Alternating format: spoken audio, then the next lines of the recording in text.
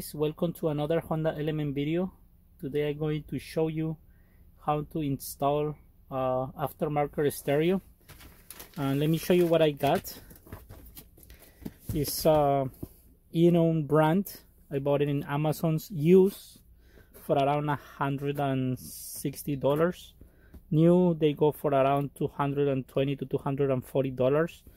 And I do have one of these in my car. I really like it for the price both times I bought it used for $160 and I like it because it has a lot of things that you can plug into the stereo and I will show you one of them which is the TPMS sensor. So I like it because you can install each of these. Then every time you start your car you can check the pressure the air pressure of each tire. So since my car is a 2004 and the other one is a 2005 and it doesn't come with a TPMS sensor then I think it's very useful to have especially when you're traveling a lot. And the stereo is uh, part number let me check it out GA2187 so that's the part number okay guys? And let's see what is inside this box so inside this box we got the stereo. What I like of this stereo also is that you can remove the screen and you can like move it around like up down left and right. So that's the stereo. I'm gonna put it by the side very carefully. And that one also comes with a rear camera which I already have it installed in my other element. And it comes with a OBD2 connector which is also nice because if the check engine light comes on or the car starts overheating you can see all those informations that are very handy very handy. And you just download the map.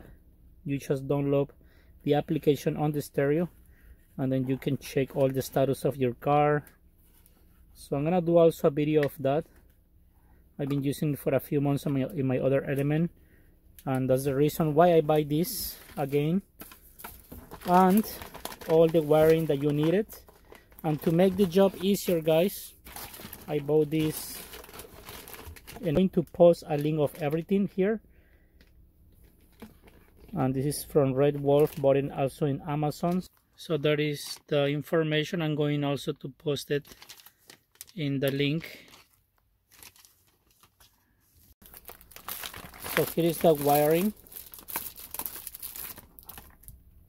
And inside here as you see it guys there is the tool that is going to make our trim removal very easy. So let's go ahead and do that okay guys? So you can always go from here and you can kind of very carefully pry. As you see this one already pop out it's better to use this than a flat screwdriver because a flat screwdriver is going to damage your, your trim there we go. And then you're gonna see these four bolts and those four bolts are very easy to remove by using a Phillips screwdriver. So let's go ahead and remove those four bolts pretty much those are gonna be all the tools that you need. You don't really need any other tools. Unless you we are going to install the camera. But we are just gonna show how to install the stereo right now and the TPMS sensor. And uh, OBD2 connector. And kind of give you an idea how everything works. I already removed the four bolts and now we are going to remove the stereo. If you have a OEM stereo, it's pretty much the same guys. There's not much difference. And then I'm going to unhook all the cables and I will show you like what you are going to have which connectors you are going to have original from the car okay all these connectors that you see this is from this stereo but once I remove it I will explain you what are you going to have if you have an OEM connector. So let's remove this.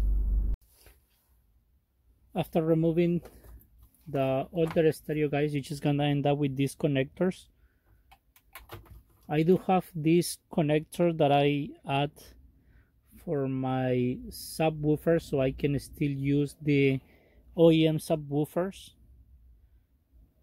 And then still working with the and this is a wire that I installed by my own. I did some wiring modification. I do have a video about it how to install uh, the OEM amplifier to an aftermarket stereo.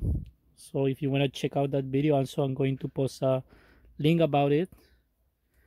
And now what we're going to do is I'm going to open this one that I bought to make the installation really easy. And first gotta make sure that the aftermarket connector is going to fit or OEM connector and it does fit like a glove which is nice. And if you see guys from this connector the orange one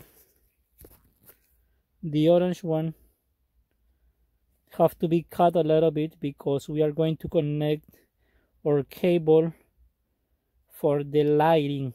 Because if you don't connect the connector for the lighting for the illumination then the light won't work at night. Like for the buttons they have lights so it won't work. So for that one you gotta connect the pink connector on the stereo. And also if you follow the pink connector it says ILL not sure if you guys can see that but sorry for this ill from illumination and that one is going to be connected to the orange wire okay guys? So it's gonna be connected together and then the other part just connect to the aftermarket stereo which is going to be this one. I'm sorry this one right here. So let's try it now. Let's connect this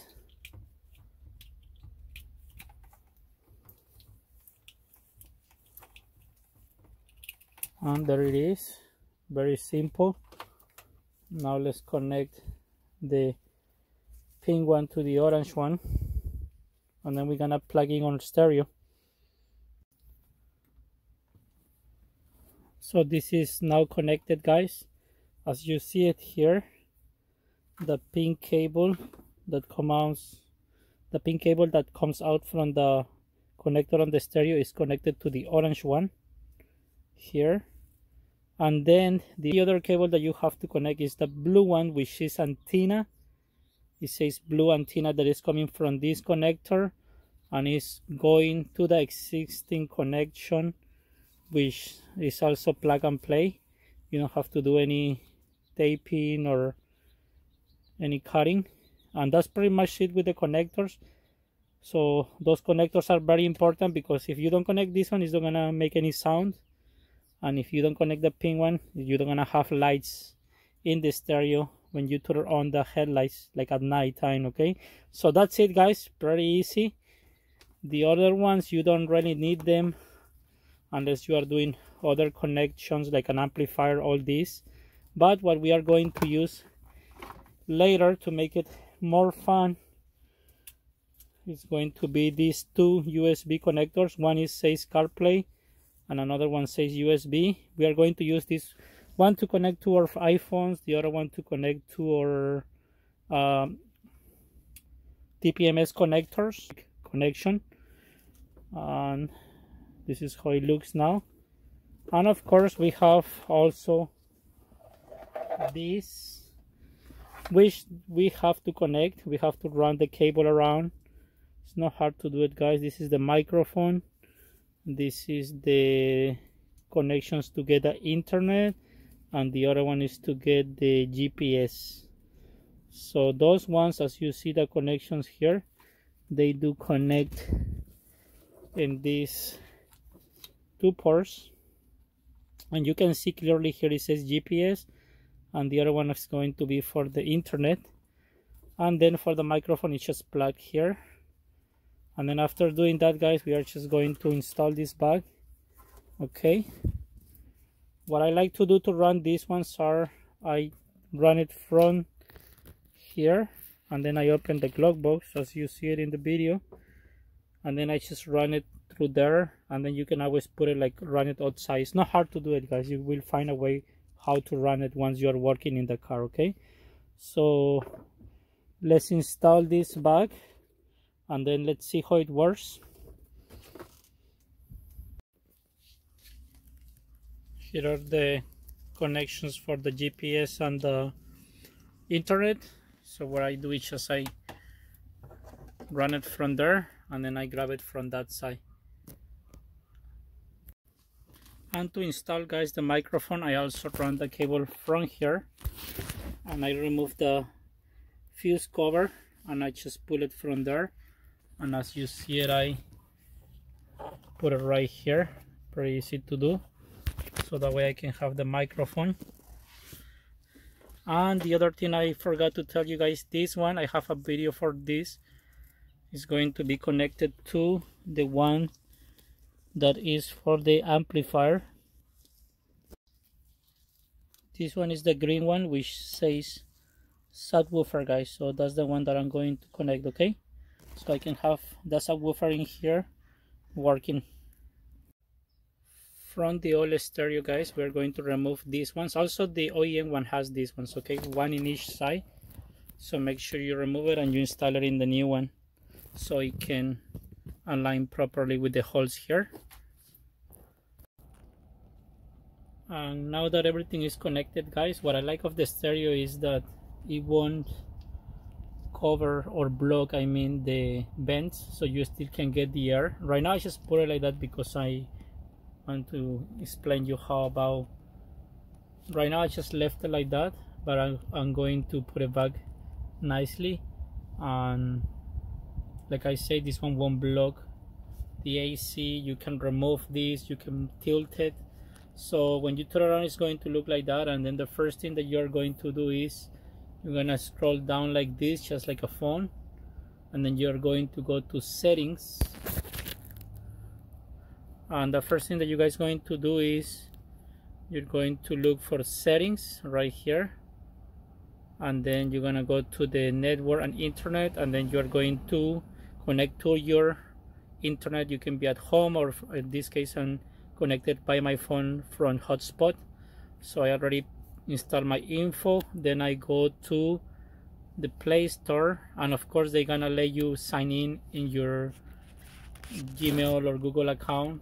I already did it and then I'm going to download the application YouTube just to listen to some music watch videos make sure all this is working and then we are going to install the TPMS on the OBD2 reader which is right here. That's how it looks inside. Which comes with all this when you buy the stereo. Now it's downloaded. Now it is downloading. After installing uh, YouTube in the application guys I just want to make sure it works. And it is working as you can see in the video and listen to the music.